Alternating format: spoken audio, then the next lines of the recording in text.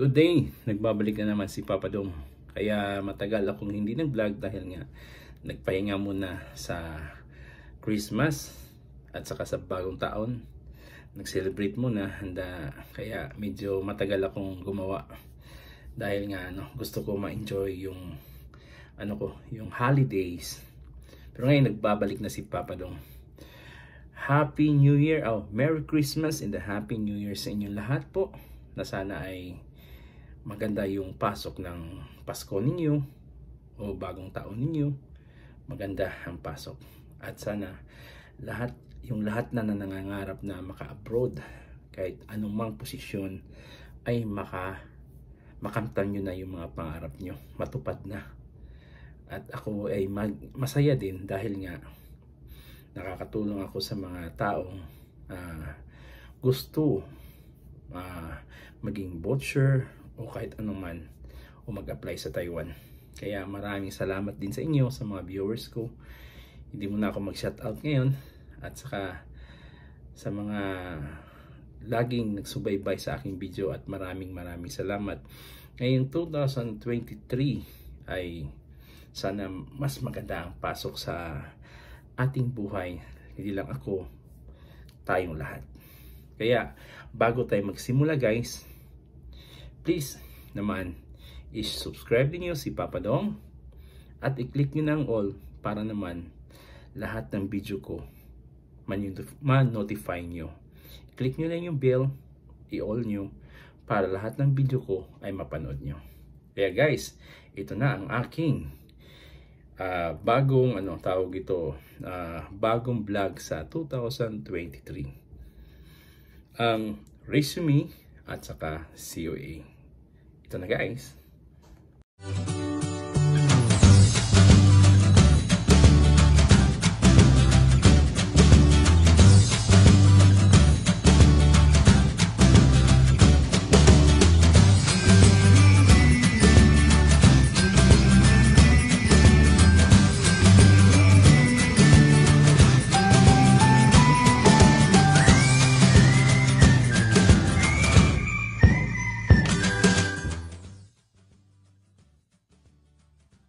Okay. So, maraming nagtatanong bakit hindi sila pumapasa sa tawag ito sa resume pa lang napapalya na sila. Bakit? Minsan kasi sa mga ginagawa ng resume na overqualified kayo. Hindi dapat nyo i-overqualified kasi ang hinahanap natin dito ay butcher. So expected expected ng ano employer hindi pang opisina. Kung hindi pang pangduguan. Di ba? Huwag natin i ilagay yung hindi related sa resume. Kasi hindi po ang hanap po nila ay butcher, hindi po pang opisina. 'Di ba? Yung skilled natin kung ano-ano nang nilalagay. So napakasimple lang po ang ating resume na ipapakita ko sa inyo. So, sa taas ng resume ko ay, ang nakalagay lang ay Levi Urag, uh, Levi Terminal Urag, tapos telephone number, email address, tapos home address. Tapos hindi na ako naglagay ng skilled. 'Di ba? Minsan naglalagay tayo ng skilled, etc. etc. kung ano nilalagay natin. Kung meron kayo niyan, related lang po sa butcher. Huwag niyo na ilagay yung nagtatrabaho kayo sa opisina, ano-ano dyan. Related lang po sa butcher. At isa pa, kung maglalagay tayo ng present, nauna po ang butcher. Kung i, wag nyo iuna yung hindi related sa butcher. Kasi minsan, doon nahihirapan yung employer natin. Natignan yung hanapin mo pa yung hanapin pa niya yung butcher. So kung ano yung uh, kung ano yung butcher mo, itaas mo siya, i-present mo siya. Doon mo siya i-una. Yung tawag ito, yung mechanic, uh, ano ka tawag ito, helper, ibaba mo siya kung ano yun. Pag hindi butcher, ibaba mo siya. Iuna mo lahat ang mga butcher sa resume mo. Yan ang ginawa ko. inuna ko lahat ang mga butcher. Kahit na yung date is malaki ang agwat. Basta unahin nyo ang butcher. Yan. So, work experience as a butcher. So, dito ako nagtatrabaho kasi sa, ano, sa Canada. So, industrial butcher ang nilagay ko. So, sa inyo, butcher. Date. And then, kung present, lagay nyo present. And then, sa side, anong company nyo, kung saan kayo nagtatrabaho, address nila, yun lang po ang ilagay. And then, duties and responsibilities. Yan lang guys. So, kung meron kayong TESDA, kumuha kayo doon, magpili lang kayo doon sa TESDA.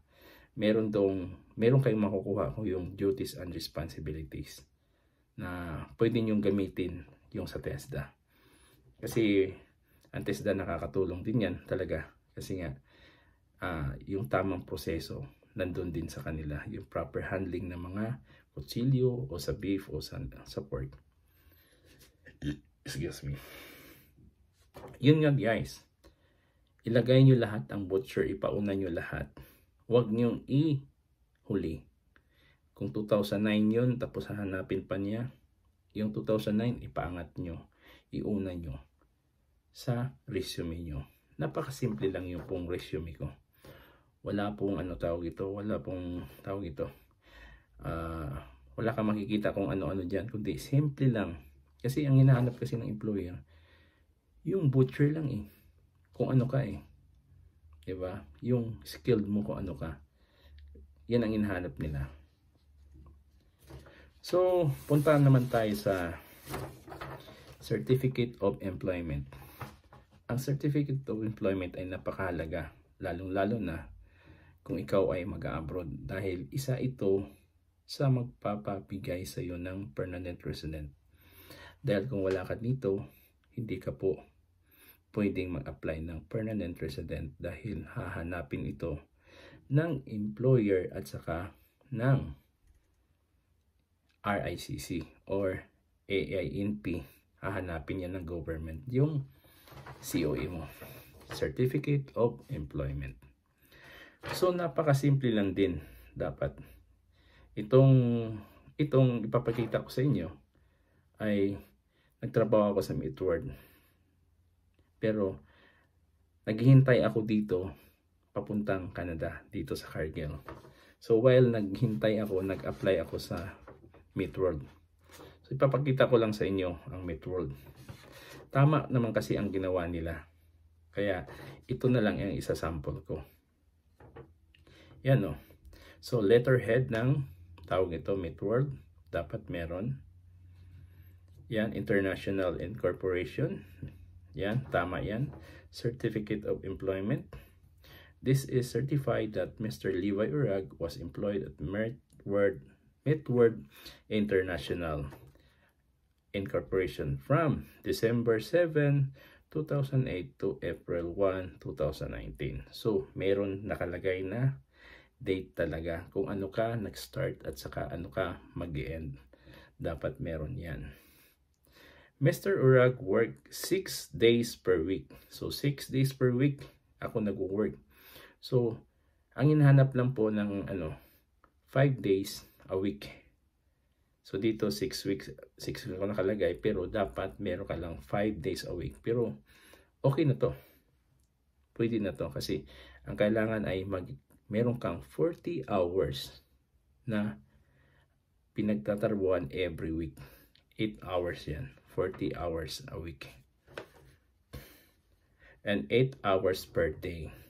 He received, so yan, he received uh, salary with 537 basic salary per day.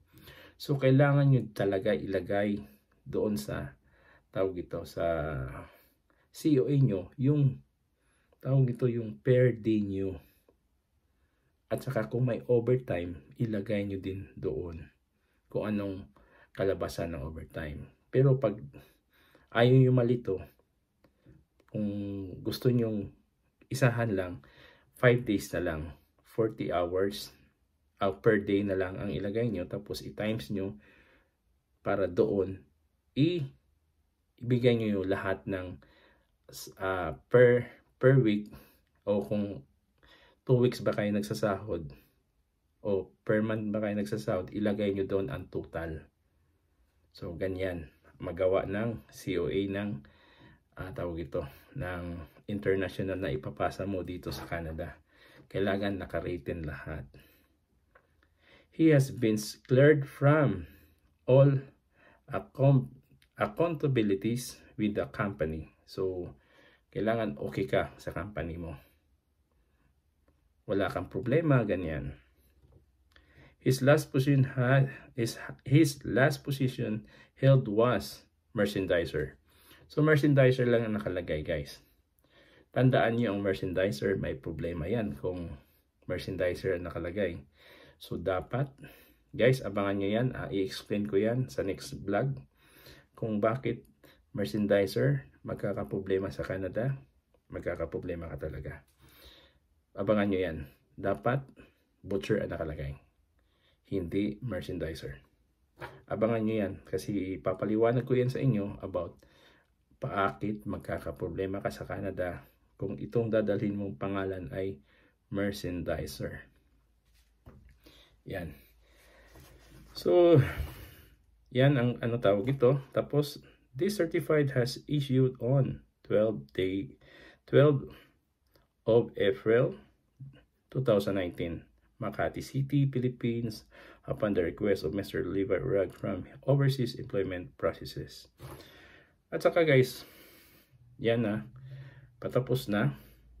Tapos huwag niyong kalimutan yung pirma ng ating mga hurado. Di ba? Yung mga HR, huwag niyong kalimutan. And then sa baba, uh, First Lucky Annex, yan, yung address nila. Sa, ah, meron ng address sa ta address na naman sa, ano, sa, sa baba ng company. Ayan, napakasimple lang po ang um, paggawa din ng COA pero dapat nakaritin lahat yung mga bagay na hinahanap ng mga employer at saka hinahanap ng government dito sa Canada. So, I hope you guys na meron kayong ma-pick up dito dahil napaka-importante ito dahil kung hindi mailagay yan sa COA nyo, ibabalik yan sa inyo. At hahanapan kayo saan yung per day nyo, saan yung ilang oras kayo nagtatrabaho. At sa pagka guys, dagdag ha, ang, cert ang certificate of employment, pwede nyo yun lagyan ng posisyon. Lagyan nyo ng duties and responsibilities. Pwede sa baba. Pwede din idagdag nyo ang duties responsibility sa certificate of employment. Dapat meron din. Yan. Kung anong ginagawa mo parang ano sa resume, kung anong nilagay nyo sa resume, pwede nyo ilagay din doon sa Certificate of Employment niyo. Duties and responsibilities. Yan. Kaya guys, I hope guys na nakatulong ito sa inyo at sana ay uh, lahat ng naka-line up sa magsaysay. At kung pumasa kayo, congratulations sa inyo lahat kasi malapit na. 3 weeks to go na lang meron na tayong interview from Philippines na magpupunta ang Cargill employer dyan sa inyo. At saka guys, sana ano tawag ito, uh, lahat sana ng pumasa ng Alberta, gumawa kayo ng GC para naman lahat tayo ay uh, mapapayuhan ko kayo kung anong gagawin yung unang step. Uh, sinasabi naman ng HR yan sa inyo pero dapat uh, tawag ito, may bago na kasing role ang HR ngayon dito sa Canada. Kaya malalaman nyo yan kung pagdating nyo dito. Ayan.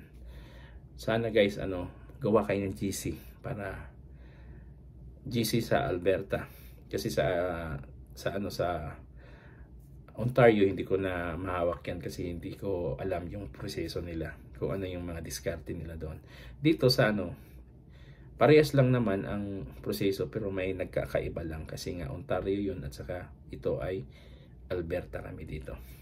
So, gawa tayo ng GC mga kako, mga kabro kung papasa kayo sa interview. I hope you guys na uh, nakatulong ako sa inyo. Maraming salamat at saka Merry Christmas and a Happy New Year belated po sa inyo lahat. Ito si Papa Dong.